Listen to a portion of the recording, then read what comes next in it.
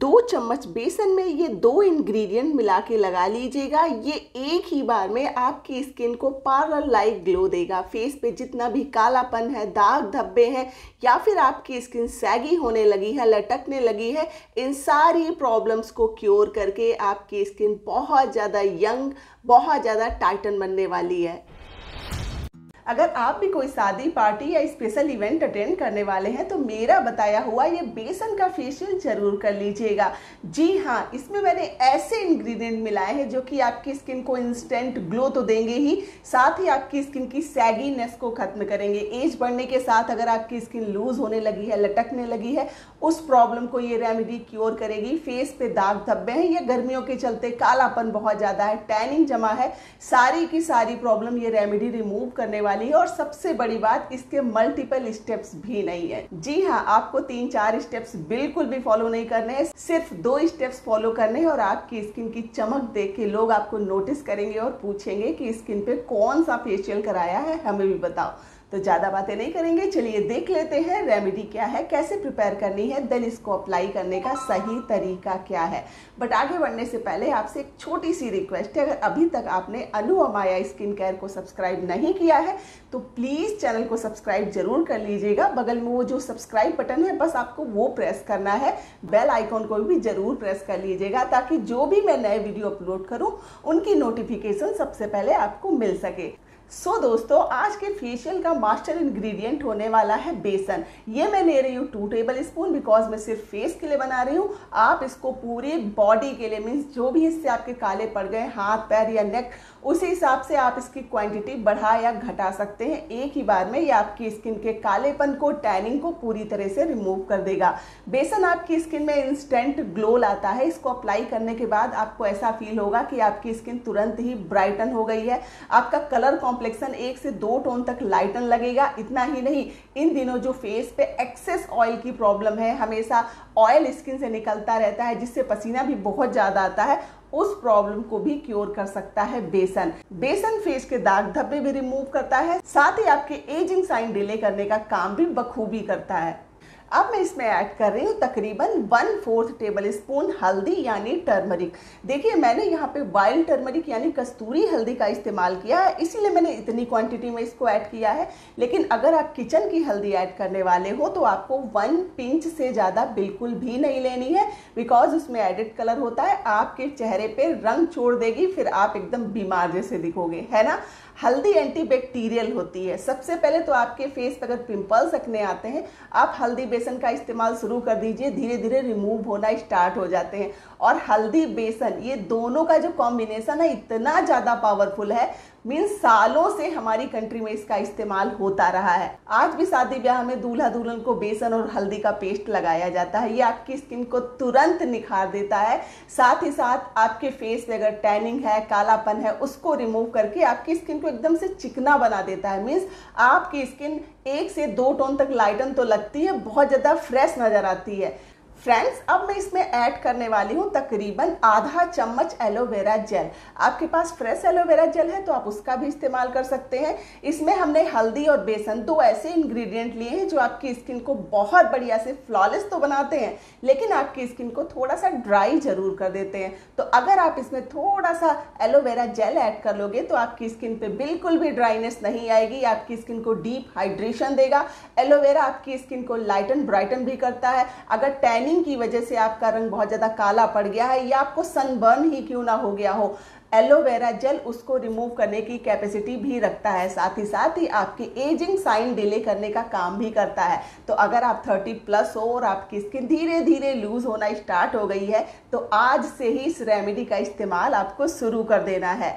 अब हम अपनी स्किन को ब्लीच करने के लिए इसमें ऐड करेंगे कोई भी विटामिन सी का स्रोत। तो मैं यहाँ पे आठ से दस ड्रॉप्स ऐड कर रही हूँ लेमन जूस यानी नींबू की। अगर आपको ये सूट नहीं करता है तो आप इसकी जगह पे टोमेटो जूस भी ऐड कर सकते हैं। उसमें भी विटामिन सी बहुत अच्छी मात्रा में होता है। जैसा मैंने बताया, नींबू आपकी स्किन को ब्लीच कर देता है। जी हाँ आपका फेस तुरंत चमक जाता है। नींबू फेस के दाग धब्बों में भी काम करता है। साथ ही एक्सेस ऑयल को भी रिमूव करने का काम करता है। नींबू आपके एजिंग साइन भी डिले करता है, इतना ही नहीं, आपके फेस पे बहुत ज़्यादा टैनिंग जमा है या फिर पिगमेंटेशन जैसी प्रॉब्लम ही क्यों ना हो, नींबू उनको भी क्योर कर देता है।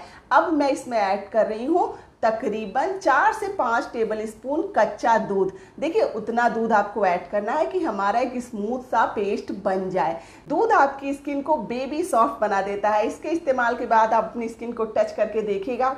क्या बढ़िया फीलिंग आने वाली है। दूध आपकी स्किन को ब्लीच भी करता है, इतना ही नहीं, आपकी स्किन को बिना ऑयलीनेस दिए बहुत अच्छी तरह से हाइड्रेट भी करता है। इन सारे इंग्रेडिएंट्स को हमको अच्छी तरह से कर लेना है मिक्स मैंने इसमें दूध थोड़ा ज़्यादा डाल दिया था, इसलिए बेसन की क्वांटिटी मैंने बाद में थोड़ी सी बढ़ाई थी। तो उसी हिसाब से आपको एक बढ़िया सा पेस्ट बनाना है। अगर पेस्ट बहुत ज़्यादा थिक लग रहा है तो आप दूध थोड़ा सा मिला लीजिए। बहुत ज़्यादा थिन लग रहा है तो बेसन थोड़ा सा और ऐड कर सकते हैं। अच्छी तरह से मिला के हमारा इस तरह का पेस्ट बन के हो जाएगा तैयार। देन चलिए देख लेते हैं इसको अप्लाई कैसे करना है। रेमेडी अप्लाई करने से पहले ऑफिसली आपको फेस अपना अच्छी तरह से क्लीन कर लेना है। फेस पे अगर मेकअप है तो पहले उसको क्लीन करिए, उसके बाद फेस वॉश कर लीजिए। आप कच्चे दूध की हेल्प से भी फेस को अच्छी तरह से क्लीन कर सकते हैं। मेरा चेहरा बिल्कुल साफ़ है, मैंने सिर्फ़ लिपस्टिक लगाई है, कोई भी बेस मैं अप्लाई करके आपके साथ वीडियो शेयर नहीं करती हूँ। देन करना क्या है? अच्छी तरह से पैक को अप्लाई कर लेना है। नेक को अवॉइड बिल्कुल मत करिएगा, नहीं तो आपका चेहरा ज़्यादा चमकेगा और नेक बहुत ज़्यादा डल दिखेगी। फ्रेंड्स ये रेमेडी बॉय गर्ल कोई भी लगा सकते हैं। आप टीनेजर हो तो भी इसका इस्तेमाल कर सकते हो। बहुत बहुत बेहतरीन आपको रिज़ल्ट मिलने वाले हैं। बस आपको इतना याद रखना है कि जो भी इंग्रेडिएंट मैंने इसमें इस्तेमाल किए हैं, वो आपको सूट करने चाहिए ओके पैक अच्छी तरह से अप्लाई करने के बाद आपको तकरीबन 8 से 10 मिनट तक इसको इसी तरह से फेस पे लगे रहने देना है। अगर आपकी स्किन एक्सेस ऑयली है तो आप इसको 15 मिनट तक भी फेस पे लगा के रख सकते हैं। मीन्स इसको पूरी तरह से सुखाना नहीं है। और इन दिनों जो वेदर है, आप 15 मिनट भी लगाओगे तो भी आपका पैक पूरी तरह से नहीं सूखेगा। तो मैं आपसे मिलती हूँ 10 मिनट के बाद। सो so फ्रेंड्स आप देख सकते हैं 10 से 12 मिनट मैंने फेस पैक लगाया लेकिन ये बहुत हल्का सा सूखा है, ज़्यादा सूखा भी नहीं है, लेकिन बहुत लंबे टाइम तक मैं इसको नहीं लगाने वाली हूँ बिकॉज़ मेरी स्किन है नॉर्मल ओके अब चलिए देख लेते हैं इसको हटाना कैसे। देखिए, आपको डायरेक्ट फेस वॉश नहीं करना है। पैक लगाने के बाद हमारी स्किन पे जो टैनिंग है या डेड सेल्स हैं या ब्लैक हेड्स वाइट हेड्स हैं, वो ढीले हो जाते हैं। जब आप इसको रब करके निकालोगे मीन्स पैक को आपको हल्का रब करके निकालना है, इसके लिए आप कॉटन हैंकी का इस्तेमाल कर सकते हैं। गीला करके देन हल्का रब करते हुए आप निकालेंगे तो ये जो टैनिंग ढीली हो गई थी या फिर ब्लैक हेड्स वाइट हेड्स ढीले हो चुके थे, वो पूरी तरह से निकल जाएँगे और एक ही एप्लीकेशन में आपकी स्किन एकदम से ग्लोइंग बनने वाली है। तो दोस्तों, मैंने फेस वॉश कर लिया है स्किन एकदम क्लीन है, मैंने कोई मेकअप नहीं लगाया, कोई बेस नहीं लगाया और आप स्किन का ग्लो देख सकते हैं। जी हाँ ये कोई कैमरा ट्रिक नहीं है और जैसा मैंने बताया, कोई मेकअप नहीं है। आपको भरोसा नहीं, आप जब ये रेमेडी अप्लाई करके देखोगे ना रिज़ल्ट देख के आप खुद चौक जाओगे। सो so फ्रेंड्स एक ही बार में हमारी स्किन बढ़िया से चमक चुकी है टैनिंग रिमूव हो चुकी है डेड सेल्स रिमूव हो चुके हैं। लगातार मीन्स वीक में तीन से चार बार भी अगर आप इसका इस्तेमाल कर लोगे तो फेस पे जो काले दाग धब्बे हैं या एजिंग साइन आने लगे हैं, वो भी डिले होना स्टार्ट हो जाएँगे।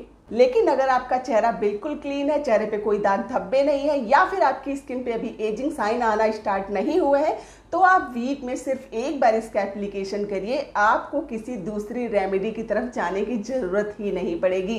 देन करना क्या है? हमको ऐसे ही अपनी स्किन को नहीं छोड़ना है। स्किन को बढ़िया सा मॉइस्चराइजेशन देना बहुत ज़रूरी है, चाहे आपकी स्किन का टाइप कुछ भी हो। इसके लिए आप अपना फेवरेट मॉइस्चराइजर लगा सकते हैं, या फिर आप एलोवेरा जेल का भी इस्तेमाल कर सकते हैं। मैं यहाँ पे एलोवेरा जेल अप्लाई कर रही हूँ। लगाने के बाद हल्का सा मसाज दे दीजिए। तो जी, हमारी स्किन, हमारा फेस पार्टी रेडी हो चुका है। आपको करना क्या है? बस हल्का सा मेकअप लगाना है। जहाँ भी आप जाओगे, आप ही आप नज़र आओगे। लोग आपसे पूछने वाले हैं कि भाई, कौन सा ट्रीटमेंट ले रहे हो? हमें क्यों नहीं बता रहे हो? हमें भी बताओ। तो आप ज़रूर मेरे चैनल का नाम बता दीजिएगा, नहीं तो आप इस वीडियो को उनके साथ शेयर कर दीजिएगा ताकि वो भी इसका फ़ायदा उठा सकें। सो so फ्रेंड्स उम्मीद करती हूँ वीडियो आपको पसंद आया होगा हेल्पफुल लगा होगा। तो जाते जाते फिर से रिक्वेस्ट करूँगी प्लीज़ चैनल को सब्सक्राइब कर लीजिएगा। वीडियो को लाइक दिए बिना बिल्कुल मत जाइएगा। मैं आपसे मिलूँगी अगले वीडियो में, अपना खूब सारा ख्याल रखिएगा। Thanks for watching bye bye